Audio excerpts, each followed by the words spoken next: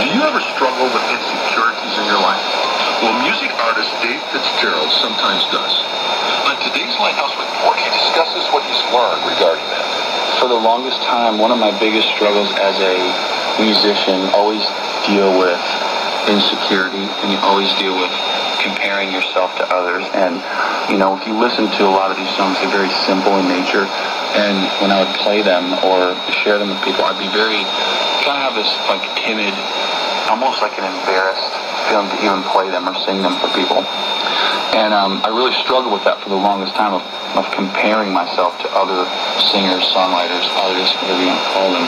But Dave has learned it's important not to focus on yourself, but on God.